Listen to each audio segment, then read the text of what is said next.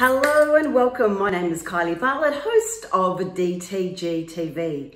And in this week's episode, I'm going to talk about is email marketing dead? Well, before you go and arrange its funeral, let me explain what is dead, and that is old-fashioned email marketing. So let's look at it from a holistic perspective. I want to talk about how are you using social media and then how are you using that to drive people to your website and then build a database, an email marketing database. So think of it like this. I see social media very much like going to a bar.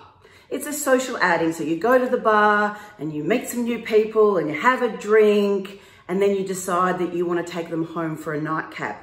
So you bring them back to your home, which is your website, and how your website is decked out is going to make a difference whether people stay there or they go back to the bar. So you've bought someone a drink, you're getting along well, so you invite them back to your house for a nightcap.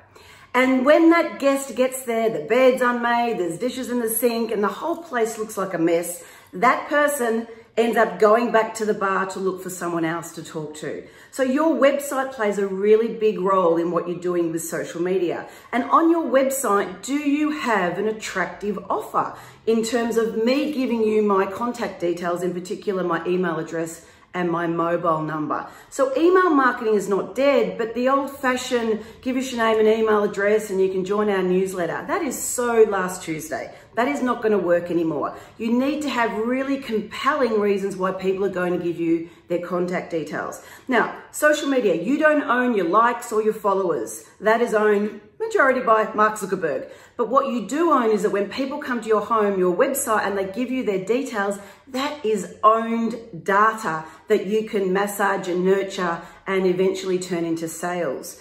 So research has proven that email marketing is not dead. In fact, 73% of millennials like to receive marketing material via email. But old-fashioned uh, email templates are out. If people can't read it on their mobile, they're not going to take any notice of it. So be really, really sure that you've spent the right time and put the right strategy that when you take someone home from social media and I land there, I end up wanting to stay. So don't think email marketing's dead. Just be sure that you've upgraded it, that it's mobile friendly, that the, that the uh, subject line is compelling, catchy, and you watch how quickly you can convert that flirt into a potential customer. I hope you enjoyed this week's episode of DTG TV. And until next week, bye for now.